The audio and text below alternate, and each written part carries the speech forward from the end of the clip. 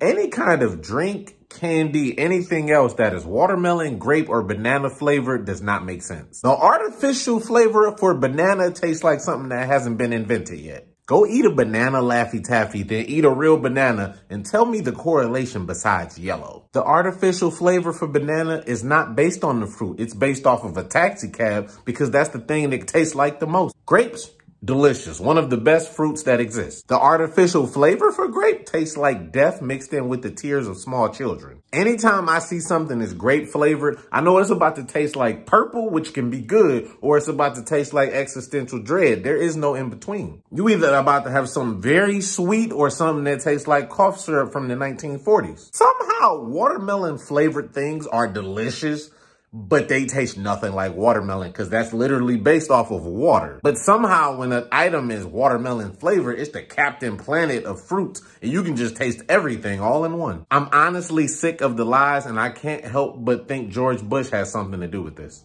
Shirt was all raising up in the back like, damn, homie, was it that serious? I was mad.